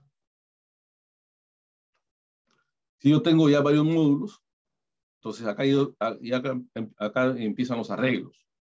¿no? Entonces es la energía diaria que produce estos módulos, ya sea en serie o en paralelo. ¿no? Por ejemplo, yo tengo eh, un módulo que tiene un arreglo de de seis paneles. Entonces, esa energía va a ser 6 por cada, por el, 6 por sería, 6 por la, la, potencia pico de cada panel, por las horas sol pico, por la eficiencia. ¿Correcto? Si yo tengo 6 paneles de 100, por ejemplo, sería 6 por 100, 600, por las horas sol pico de la zona, que lo saco de un mapa solar, por la eficiencia. Y yo tengo la energía que produce ese arreglo. Si lo tenemos en, voltaje máximo, corriente máxima, sería voltaje máximo en la potencia en el arreglo, por la corriente máxima de la potencia en el arreglo, por las horas sol pico, por la eficiencia también. Bien. Acá tenemos, por ejemplo, un caso práctico. ¿Cómo saco el número de, módulos? Eh, a ver, colegas. Entonces, eh, acá, por ejemplo, tengo que la cantidad total de, paneles es al, número de paneles en paralelo por el número de paneles enseriados. Y hay varias combinaciones. ¿Cierto? En este caso hemos hecho un ejemplo práctico. Eh, si, mi sistema fotovoltaico, tengo seis paneles, ¿correcto? ¿Cuántas combinaciones puedo tener? Cuatro. Cuatro combinaciones, Dos por tres. ¿Qué quiere decir? Dos paneles eh, en paralelo y tres enseriados. ¿Estamos de acuerdo? Si yo tengo tres por dos, es al revés. Ahora tengo tres paneles, eh, tres, tres paralelos y dos enseriados. ¿Correcto? O sea, eh, dos en serie y, tres columnas de, tres paneles. Acá seis por uno, es decir, seis paralelos. O sea, es una sola columna. Una sola columna con seis paneles. Y uno por seis quiere decir que todos, una, una sola fila. Todos los coloco en una sola fila. Uno por seis. No sé si me entienden, ¿no? Entonces, así voy sacando mis configuraciones, tanto en corriente y en voltaje. ¿Ya? Entonces, esto es muy importante para a la hora de poder este, sacar voltajes y corrientes. Bien, por ejemplo, este, este es un test que hicimos con unos colegas eh, en, un, curso. Eh, por ejemplo, tenemos, este, nos preguntaron, miren, yo tengo cuatro paneles de 100 watts pico. Eh, quiero para los arreglos cuál es el más idóneo. ¿no? Entonces, según esta configuración, los arreglos posibles son 2x2, 1x4 y 4x1. ¿Sí o no? En 2x2 quiere decir 2 en paralelo y 2 en serie. 1x4, un solo paralelo y 4 y cuatro paneles eh, eh, en serie. Y cuatro, este 4 por 1 quiere decir cuatro enseriados y un paralelo. Entonces acá están todos en una sola fila, en este 4 por 1 Y en 1 por 4 todos en una sola columna. ¿Estamos? Bien, acá tenemos... A ver, perdón, este acá es 1 por 4 O sea, quiere decir que hay un, un paralelo, un solo paralelo, ¿no es cierto? Y todos están enseriados. Bien. Por ejemplo, acá tenemos esta característica importante, eh, que la corriente máxima y voltaje máximo me dan de, este, de este panel. Y acá me dan la corriente cortocircuito y obtengo el VOC, 18,8. Bien, para el arreglo de 2x2, si se dan cuenta, arreglo 2x2, quiere decir que dos están en paralelo y dos en serie. ¿Estamos de acuerdo? Al, ser enseriados, quiere decir que este voltaje lo multiplico por 2. Obtengo 37,6. ¿Estamos de acuerdo? ¿Y qué pasa acá con la corriente? Como están en paralelo 2, quiere decir que esta corriente lo multiplico por 2. O sea, 6.21 por 2, 12,42. ¿Estamos de acuerdo? ¿Qué pasa ahora en el arreglo 1 por 4? El arreglo 1 por 4. Quiere decir un paralelo y 4 en serie. Entonces, este seriado lo multiplico 18,8 por 4. 18,8 por 4, obtengo 75,2. ¿Estamos de acuerdo? Bien. Y la corriente es la misma, 6,21. 6,21. ¿Estamos? Bien. Tenemos ahora el 4 por 1. Es decir, 4 en paralelo y 1 en seriado. Entonces, como es paralelo, este es el mismo voltaje, 18,8. ¿No? Es un, están en paralelo. El voltaje no varía. Todos los cuatro están en paralelo. ¿Y qué pasa con la corriente? Como está, están cuatro en paralelo, la corriente se, suma. O sea, 6,21 por 4 obtengo 24,84. Entonces, estos son los arreglos de cada, eh, los voltajes VOC y corriente por circuito de cada arreglo. Ahora, pregunto, o hago la pregunta, ¿cuál es el arreglo más idóneo? Bien, vamos descartando primero por corrientes. A mí no me, eh, a la salida de mi panel no me interesa una corriente alta. ¿Por qué? Porque eso es tener mayor cantidad de cable, mayor sección de conductor. ¿no es cierto? Entonces, si yo elijo 4 por 1, voy a tener una salida de corriente de 24. Entonces voy a, voy a utilizar un cable más grueso y eso involucra más costo. ¿Cierto? Entonces yo puedo elegir 12,42. Es una corriente manejable en los sistemas fotovoltaicos. Y una, un VOC de 37,6 que puedo fácilmente obtenerlo con un regulador puedo conseguir un regulador de 37,6 y una corriente de 12,4. Entonces, este sería para mí el de 2x2 el más idóneo, por la corriente mediana que, que maneja. De repente este acá puedo elegirlo, pero miren acá, el VOC 75.2, de repente el regulador solamente trabaja hasta 40.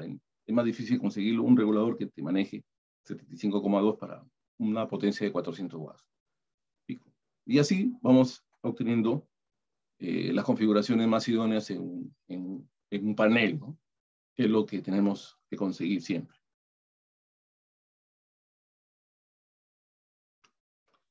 Por ejemplo, este es otro circuito que hicimos, entonces estos lo dejamos como datos para que ustedes lo, lo, vayan, lo vayan viendo, ¿no?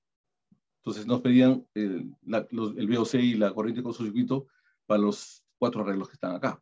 2 por 5, 5 por 2, 1 por 10 y este 10 por 1. Este 10 por 1, todos están en paralelo, por ejemplo. Acá 1 por 10, todos en, una, en, una, en, una, en seriados, todos en seriados. Y acá, por ejemplo, tenemos 5 paralelos con dos, con dos enseriados. Acá tenemos dos paralelos con 5 enseriados. Y nos piden el VOC y el ICC para cada uno.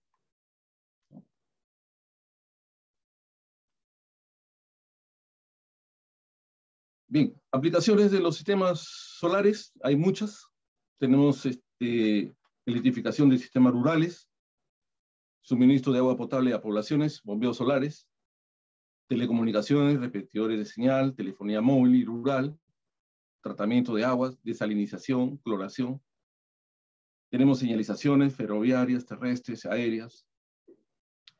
Tenemos conexiones a la red, sistemas conexión a la red, híbridos o eh, on-grid sistemas de control, vía satélite, detección de incendios, etc.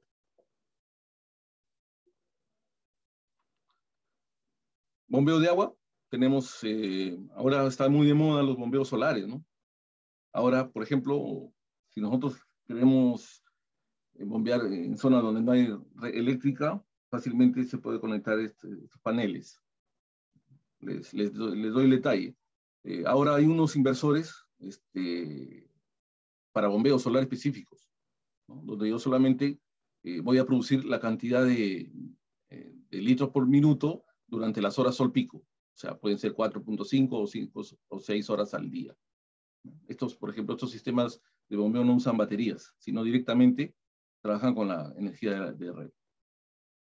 Entonces, el inversor no es otra cosa que el equipo que se conecta a los paneles y este bota 220 y va al, a, la, a, la bomba, a, la, bomba, sumergible, por ejemplo, dentro de un pozo.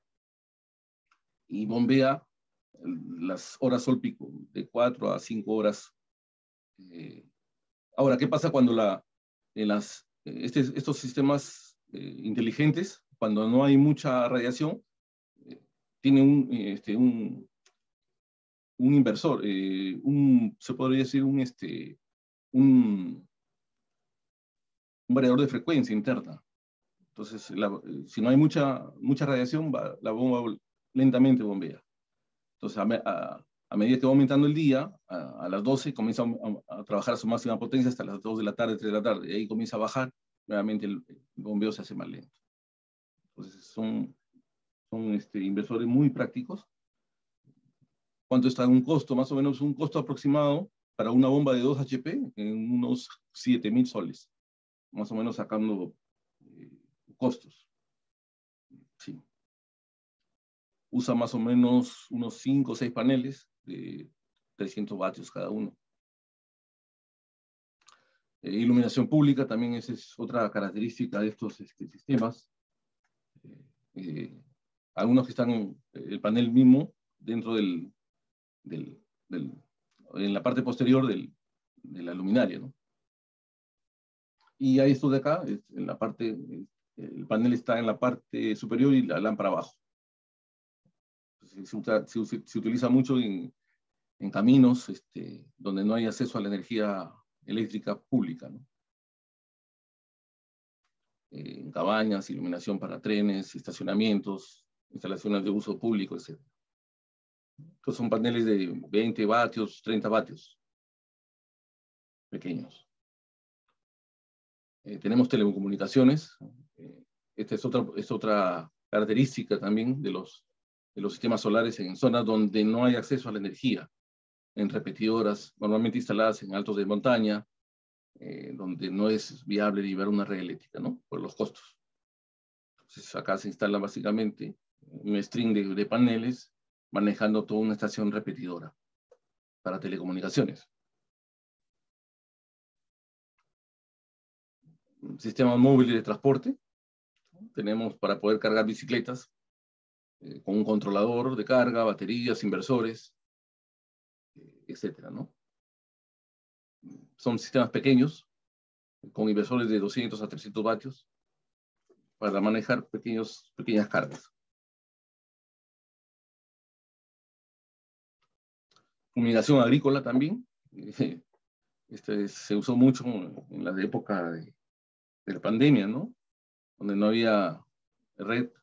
Y los estos tienen un, pequeño panel en la parte posterior del, y un motorcito de 12 voltios para poder fumigar campos y zonas agrícolas para fumigación y desinfección en zonas de plagas y hongos.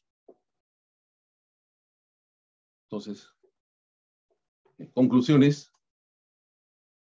Entonces, hay que masificar estos sistemas solares, tanto autónomos como conectados a red, mejoran calidad de vida eh, de las personas, aumentando su capacidad de consumo.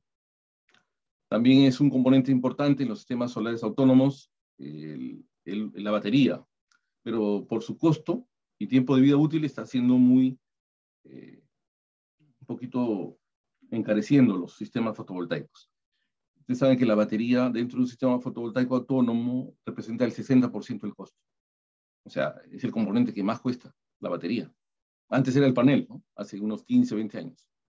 Ahora es la batería. Entonces, ahora podemos encontrar paneles de desde 100 dólares hasta 180 dólares. ¿no? Pero en batería podemos tener un precio de 320 dólares.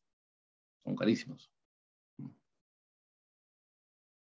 Bien, entonces este, hay un gran desafío en nuestras autoridades para incorporar estas tecnologías limpias al, sistema eléctrico, ¿no? Entonces ya hemos visto que tenemos siete, centrales. El tema, pues, de las centrales son su intermitencia, ¿no? De las centrales solares. Solamente puedo yo generar en el día. Que pase la noche, no, genera nada el sistema. Entonces es un, un tema que se está viendo, ¿no? Entonces, ponerle baterías acumuladores encarece bastante el sistema. Y otro tema es la generación distribuida. todavía en el Perú no, no, no, se tiene ese concepto muy definido, no como Europa, ¿no? que el consumidor también es productor de energía. Y esa energía en exceso le descuentan de su, de su recibo. ¿no? Entonces, acá en el Perú, tú puedes tener tu panel en tu casa, un sistema autónomo, pero ¿qué pasa si ese sistema genera más de lo que consumes? Esa energía no, no, no te la paga el concesionario. Es una pérdida para ti. Entonces se justifica, no se justificaría usar este, eso, la generación distribuida todavía porque no está eh, reglamentado en el Perú ese tipo de, sistemas, ¿no?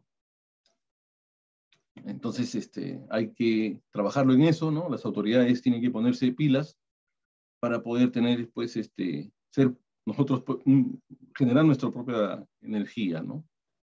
Y, y si tenemos en exceso, eh, el, el, concesionario no, nos tendrá que descontar. Le vendemos a ellos, en otras palabras, o podemos hacer un, un intercambio. Bien, colegas, eso es todo por hoy. Eh, no sé si podemos responder algunas preguntas. Este, ingeniero Pedro, doy, doy por finalizada mi, mi charla. Espero pues que haya sido de, mucha importancia para ustedes, ¿no? conocer un poquito más de estos sistemas más que todo de los paneles y de cómo estamos en, generación renovable en el Perú. Si hay alguna pregunta, la podemos responder, no sé. Eh, ingeniero, ¿qué dirá? Sí, ingeniero, eh, buenas noches. Justo eh, voy a coordinar con, con el colega de sistemas para que habilite el chat y el audio. Ya, perfecto. Y hacemos una ronda de preguntas.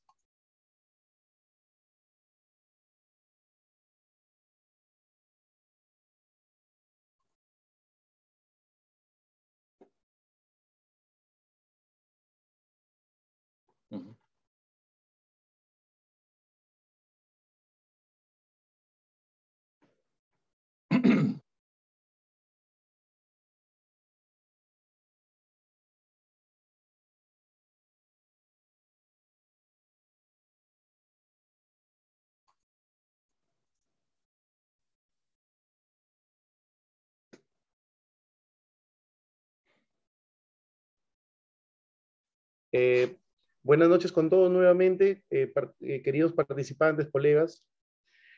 está habilitado el audio. Quien tenga alguna pregunta, por favor, le agradeceré hacerlo en este momento para que el ingeniero José Granados la saxuelva. ¿Alguien por ahí, por favor?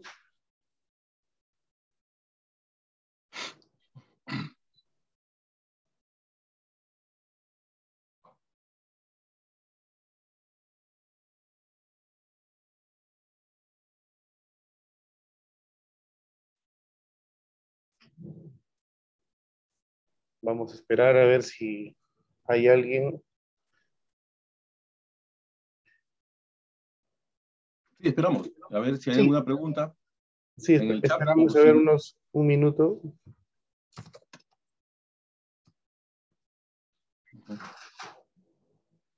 Más bien voy a aprovechar, ingeniero, para proyectar el flyer del curso, que, eh, para que los colegas también eh, tomen conocimiento que a través de su persona se ha diseñado un curso para que a través del, bueno, la fecha es el 19 de abril, se había programado en primera parte, a ver, justo lo tengo acá.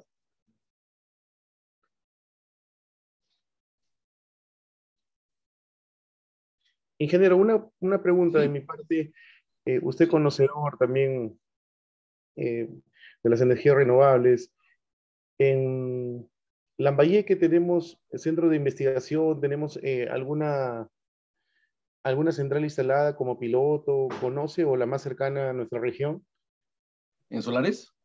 Sí, un, sí, solares. Bueno, eh, hay pequeñas centrales solares en la parte, en la parte mm, de Sechura, Piura. Pero en Chiclayo exactamente no, no, no, no conozco. Eh, pero digamos, en Piura se está desarrollando bastante los sistemas aislados. Pero como central solar grande no, no hay. Como hemos visto en la parte, en el mapa solar que, que, que mostré de las energías, eh, la parte sur es donde se han desarrollado centrales solares. Pero en Piura hay bastantes caseríos, zonas, zonas rurales que, que, han puesto sus sistemas autónomos, ¿no? Y le está yendo muy bien eh, sus pequeñas casas donde no hay acceso a, a zonas rurales. En Chiclayo sería bueno eh, un poquito fomentar esa parte, ¿no? En, en, zonas rurales donde no hay energía eléctrica. Sí, así es. Justo el ingeniero, el ingeniero, nuestro colega el ingeniero Benavides está instalando para el, para el tema agrícola, eh, justo sigo su El bombeo solar sí se está desarrollando, un poco acá. Bombeo, solar. sí, ¿verdad? Sí, bombeo solar sí hay, ¿no? En la parte de Jayanca, en la parte en Olmos, eh, sé que hay algunos sistemas solares que, que están instalándose eh, para sistemas de media potencia, de mediana potencia, ¿no? Bombas de 5 HP, de 2 HP, y funcionan bien, ¿no? Trabajan 5 o 4 horas en forma continua, con ah, unos inversores inteligentes, ¿no? Y trabajan bien estos sistemitas. Un poquito caros son por el, por el tema de, de, la inversión, ¿no? Dependiendo de la potencia, ¿no? Puede costar unos 2.500 a 3.000 dólares.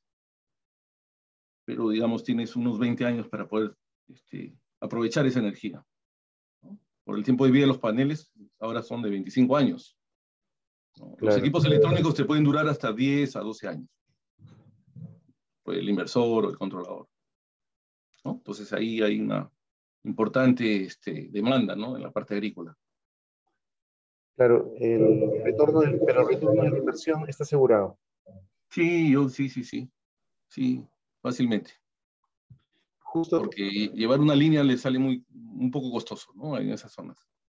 Ah, eh, eh, se podría, se puede, una consulta de ingeniero, disculpe, se puede visualizar la pantalla, ¿verdad? Sí, sí, sí, sí se ve.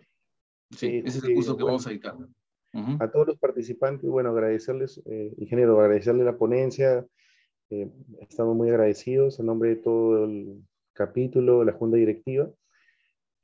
justo aprovechando este, este tiempo, hacerle conocimiento a todos nuestros colegas y participantes en general que el capítulo Ingeniería Mecánica Eléctrica, eh, a través de su persona, va a dictar este curso virtual denominado igual Paneles Solares Fotovoltaicos, Dimensionamiento y Aplicaciones, cuyo objetivo es dar a conocer a los participantes los conceptos básicos eh, de un tipo de energía renovable y su gran acogida que tiene en los últimos tiempos y sus aplicaciones. Diseño aplicado, aplicando los conceptos, fórmulas y criterios para el correcto diseño de los sistemas fotovoltaicos. Bueno, a través de su persona, eh, presentado. Claro. Eh, sí, en este curso, por ejemplo, colegas, vamos a, calcular las horas sol pico, ¿no? por ejemplo. Vamos a poder calcular un regulador, el controlador, el cálculo de las baterías para un sistema autónomo. Para un sistema conectado a red, el inversor, el inversor un grif, características, dimensionamiento, ¿no? Eh, para un sistema híbrido también, eh, qué tipo de controlador usamos para poder trabajar en forma idónea. Eh, estos este, sistemas. Y también vamos a ver el tema de, de, bombeo, un poco de bombeo solar también, una aplicación de un bombeo solar práctico, un ejemplo, para poder calcular las baterías, el, la potencia de generación de los paneles, para un pequeño bombeo solar de, de una bomba pequeña, ¿no? Eso es este. Estos son los temas que tenemos eh, sistemas fotovoltaicos autónomos conectados a red y híbridos. Está de moda mucho, mucho, estos temas ahora. Eh, también hablar un poco de, generación distribuida, ¿no? como les decía. En Europa se está desarrollando mucho ese tema. Eh, el consumidor también se vuelve un productor de energía y tú puedes vender al, al, al concesionario esta energía. ¿no? Lamentablemente en el Perú, como le decía este ingeniero Pedro, eh, la reglamentación no está definida, ¿no? Entonces, eh, por esa parte no, no, se, no se genera mucho eh, ser este, generadores de, de, energías limpias en, el, en, zonas urbanas. Sí. sí, eso es bien cierto. Si, si, no, si mayor no recuerdo, en el año 2018-19 estaba propuesta la reglamentación, estaría... Eh, claro, pero se quedó ahí, se estancó y ya no se ha vuelto a tocar más el tema, ¿no? Ya tenemos cuatro años y no, no toca nada ese tema. Sí, estaría, estaría bueno retomarlo. Hay que invitar a los, a, los, a los colegas del Ministerio de Energía y Minas o a través de la Dirección Regional de Energía y Minas acá en Lambayeque para ver si mm, lanzamos un conversatorio eh, para poder eh, consultarles a ellos, que son los que están abocados al seguimiento de esta, de esta reglamentación. Eh, estaría, estaría, estaría, bien agendarlo para poder, digamos, también tomar conocimiento nosotros, ¿no? Por ejemplo, hay, hay unos, hay unos este, ONGs que están eh, instalando en zonas en Lima, ¿no? Por ejemplo, en zonas donde no hay acceso a la energía, por ejemplo, en las partes altas de San Juan del Urigancho, hay unos sistemas eh, pequeños que se han instalado, ¿no? Un, panel de, de, 80 vatios, un controlador pequeño y una batería de 20 ampere hora, ¿no? Para dos foquitos y una radio y un, y un cargador de celular por ejemplo, ¿no? Para un determinado asentamiento. Y les ha cambiado la vida, ¿no? Esos sistemas. Eh, ya tienen su luz, tres puntos de luz, tienen un cargador de celular y radio, ¿no? Entonces, este, eh, esos sistemas, promocionarlos, ¿no? A través de universidades o, o, de instituciones, ¿no? En la región.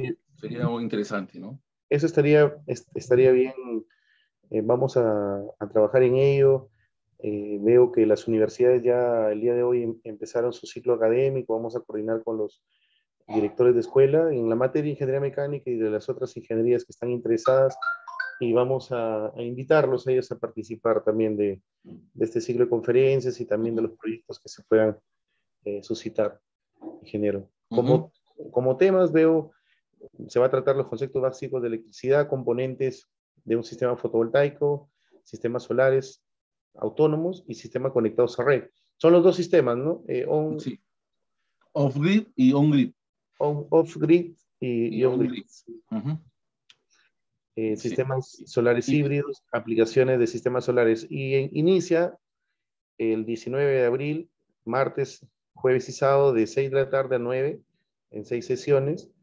Eh, con, usted, con ustedes van a trabajar algunas aplicaciones. Es, es bueno que el colega sepa diseñar y reconocer y elaborar un presupuesto en base a esto, porque son soluciones que ya se están ejecutando.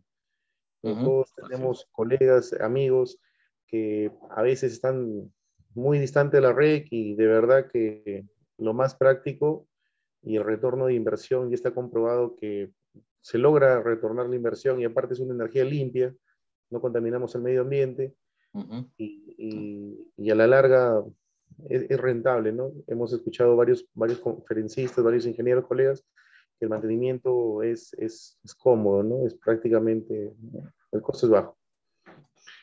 Sí, eh, efectivamente, ahora los paneles, pues, este, vienen con un IP bien, elevado, ¿no? Solamente 100 horas donde bastante, bastante polvo se limpia, ¿no? una franelita, una pequeña limpieza y siguen funcionando estos paneles en forma normal. Y al tiempo de vida, pues que son 25 años y, duran una buena, una, una buena cantidad de, de, tiempo, ¿no? Eh, entonces, este, es, una, es una oportunidad ahí para poder este, fomentar en algunas zonas rurales en la región el uso de estos sistemas para pequeñas zonas agrícolas o rurales también. Sí, como parte de la solución energética para estas, estas zonas que están, eh, digamos, eh, el privado es el que está ahorita prácticamente ejecutando.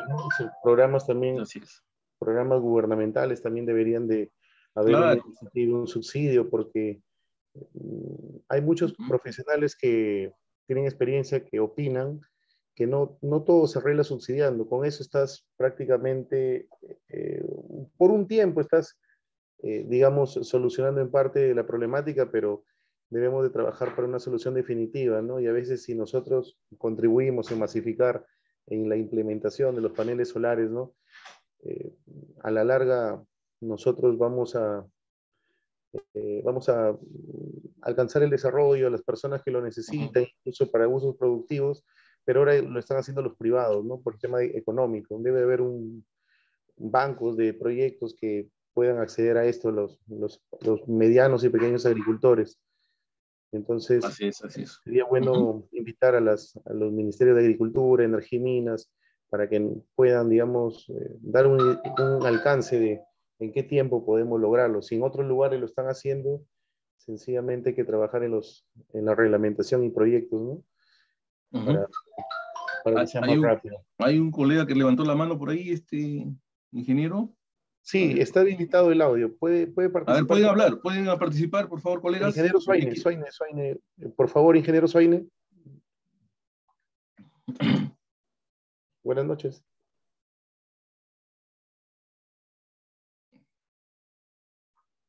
Sí, el audio, ingeniero. Sí, si tienen alguna pregunta, pueden habilitar por su audio. Sí, levantar la mano o en el chat, ingeniero, no, no, lo escuchamos. Por favor, ¿puede hacer alguna pregunta?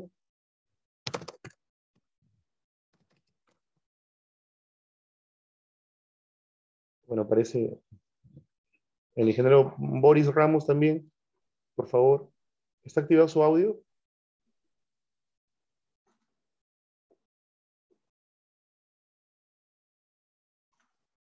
Vamos a ver qué pasó.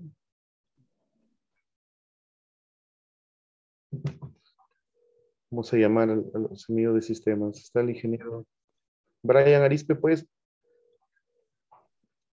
ahí han, levantado la mano. Sí, he visto.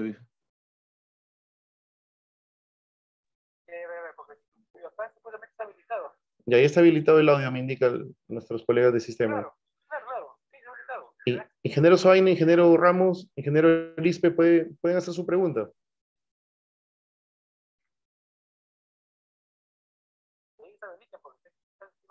Eh, eh, bueno, está activado el audio. Me parece que se quedó, se quedó activado su mano. Está bien. ¿Ingeniero José Granado se encuentra? Sí, acá estoy, acá estoy, este, ingeniero Pedro. Listo, ingeniero. Eh, bueno, ante todo, ingeniero, a nombre, también quería mencionar los saludos y el agradecimiento de nuestro vicedecano, que es el ingeniero Ricardo Paredes. Bueno, ingeniero es conocido, es un amigo nuestro, de todos. Él se encuentra también en la, en la ponencia, reciba sus saludos. Eh, también tenemos la participación, la participación de los ingenieros mm, que forman parte de la asamblea y también son de nuestra especialidad, el ingeniero Adrián Zapata Cernaque, el ingeniero Johnny Villalobos Cabrera, el ingeniero Carlos Camacho Olano, el ingeniero Miguel Ángel Sarabia Cueva, y mencionar nuevamente a los ingenieros que formamos parte de, de manera honrosa del capítulo, eh, el ingeniero Freddy Dávila Hurtado, que también se encuentra presente. Eh, si tiene, si escucha este audio, si puede, pueden participar, están habilitados los audios. El ingeniero James Celada, su compañero de trabajo, me odia, nos hizo el comentario que lo conoce muy bien. Oh, sí, muy, muy buen amigo. Claro, compartimos siempre. Recibe el saludo del ingeniero James Celada, Padilla, el ingeniero Carlos Solita Vera, que es especialidad es ingeniero electrónico, eh, el, prosecretario del capítulo, los ingenieros vocales, el ingeniero Luis Ramos Martínez, el ingeniero Juan Carlos Rentriañí, Julio Vilches, eh, Julio Blitas, Santiago y Santiago Tello. Los ingenieros están muy agradecidos también por, por la participación de esta semana, ingeniero, y, a través del colegio, Consejo Departamental de Lambayeques, pedimos este, certificado a usted, ingeniero José Antonio Granado Montenegro, eh, por su participación como ponente en la conferencia del día de hoy, paneles, denominada Paneles Solares, componente fundamental de generación renovable, desarrollado por el capítulo de Ingeniería Mecánica Eléctrica, eh, llevado a cabo el 4 de abril del año 2022, con una duración de dos horas académicas.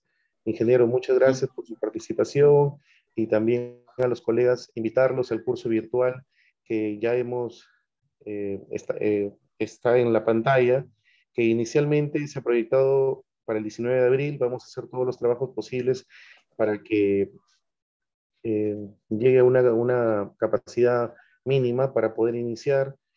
En este caso, los costos son los que se indican.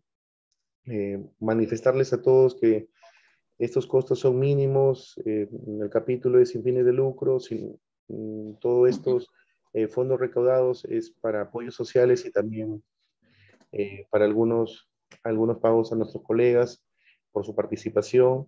Más adelante estamos proyectado proponer cursos netamente gratuitos para que los 2.600 afiliados accedan de manera gratuita, tanto la ponencia como el certificado. Para eso estamos, hemos iniciado este ciclo de conferencias desde enero hasta la fecha y terminando el mes de abril vamos a superar un promedio de 40 conferencias y hemos llevado un promedio de 10 cursos, de los cuales hay tres cursos en, eh, cuatro cursos se encuentran eh, eh, en curso. Vamos a compartir a través del fanpage. También invitarlos el día jueves 7. Dios quiera que el paro de transportistas cese por el bien de nuestro país y región. Eh, a las 10 de la mañana va a haber un conversatorio, una, una charla informativa acerca de los trabajos de conexiones de gas natural que viene haciendo la empresa Cuavi.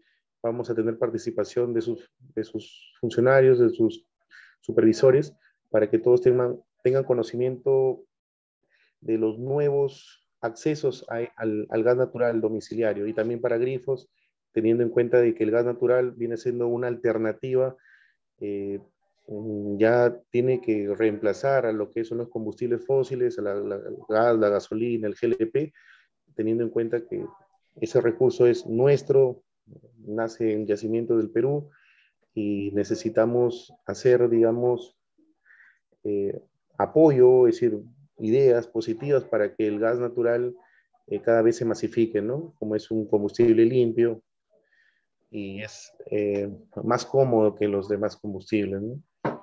Para que no, no surjan incrementos a futuro y tener una alternativa de, de, energía, ¿no? Sería bueno la participación de todos, de manera, eh, de todas maneras lo vamos a transmitir en vivo para que los colegas que estén fuera, que no puedan participar, también hagan preguntas virtuales y si Dios quiere no hay ningún paro de transporte, eh, las personas de Coavi que se trasladan desde Trujillo a Chiclayo van a estar a las 10 de la mañana en el Colegio de Ingenieros en Malte, en Izaga, en el primer piso, sala de conferencias, los vamos a tener.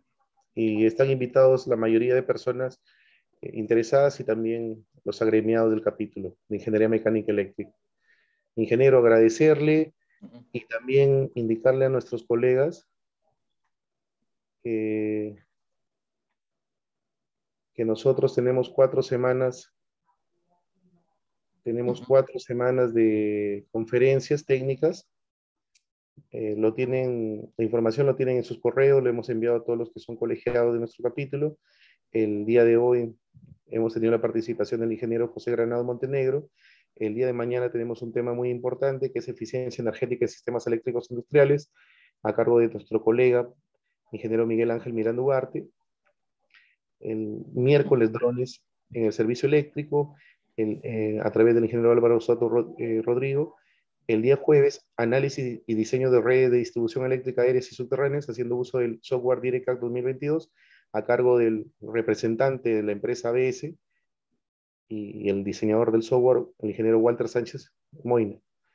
El día jueves también tenemos la participación del ingeniero eh, Alan Abraham Sarabia Cueva, Introducción al diseño de sistemas de agua helada aplicando, aplicados al aire acondicionado. Y por último, el viernes tenemos al ingeniero Michel Antonio Arias Guamaní con el tema Soluciones de calidad de energía a través de los filtros activos. La siguiente semana, Semana Santa, eh, jueves y viernes no se ha programado, pero lunes, martes y miércoles tenemos ponencias, eficiencia energética de las instalaciones eléctricas en edificaciones, energía solar fotovoltaica también, un, tema eh, a través del ingeniero electrónico, también pertenece al capítulo José Eduardo Torotello, y el día miércoles tenemos la participación nuevamente del ingeniero Luis Alberto Chirinos Martínez con el tercer tema que nos viene apoyando, integridad mecánica de equipos estáticos en la industria de hidrocarburos. Estos son los temas de la primera y segunda semana. Y para parte de la tercera y cuarta, nosotros vamos a ver. Tenemos la semana 3. Mm, solamente voy a mencionar los temas por, por la hora. Seguridad eléctrica bajo el enfoque NFPA, ingeniero Cromwell Montaño Vázquez. Martes, evolución y desafíos de los mercados mayoristas de electricidad a través de la ingeniera Lisbeth Vázquez Vázquez. En la tercera, el día martes, en el horario de ocho y media, eh, agradecemos la participación del ingeniero Ángel Marcelo Rojas Coronel con el tema distritos térmicos, una mirada a la eficiencia energética en las ciudades. El día miércoles, importancia de la corrección del factor de potencia, un tema muy importante, a través del ingeniero Gerson Mauricio. El día jueves, elaboración de instrumentos de gestión ambiental para actividades eléctricas a través del ingeniero Johnny Villalobos Cabrera. El día viernes vamos a tener la participación del especialista de electricidad de Ocinermin, el ingeniero Alex Abanto León Zulueta, con el tema supervisión de seguridad pública, riesgo eléctrico grave y accidente de tercero. Un tema muy importante. Invitaremos a las autoridades porque lamentablemente en nuestra región se siguen suscitando problemas de accidentes fatales y también incapacitantes por, por el tema del cumplimiento de distancias mínimas de seguridad y el tema también de, tenemos que también saber si encontramos eh, una infraestructura eléctrica con riesgo, debemos reportarlo a la concesionaria a través de los canales que les vamos a dar a conocer para que la concesionaria en, el tiempo que indica la norma lo subsane. La, última semana tenemos la actualización de la, una norma IS 603647710 del 2021 en el diseño de hospitales, a través del ingeniero Michel Arias Guamaní. El día martes vamos a tener la el tema supervisión de atención de denuncias de electricidad, de servicio público de electricidad, perdón, a través del, del supervisor regional de, de, la empresa consultora de Ocinermin, el ingeniero Leo Walter Lajo Mesa. El miércoles vamos a tener un tema importante también, avances y desafíos de la electromovilidad a nivel global y local, con participación del ingeniero Edwin Zorrilla Vargas. El jueves, modelamiento numérico de un generador de hidrógeno eh, a través de nuestro colega asociado al capítulo, Edward Willy Rimarachín Valderrama. Y finalizando este ciclo de conferencias del mes de abril, el día 29, el viernes, vamos a tener el tema con la participación de la empresa BS a través del ingeniero Walter Sánchez Moina, análisis y diseño de líneas de transmisión y redes de distribución eléctrica haciendo uso del software DLTK. Es, es todo, estos, estos 20 conferencias eh, hacen un número de horas, de 40 horas académicas, la cual nuestro capítulo, nuestros directivos, hemos visto conveniente que el, costo sea para estudiantes 20 soles, ingenieros hábiles 30 y para público en general 40. Estos costos serán utilizados para apoyo social, eh, para las actividades del capítulo.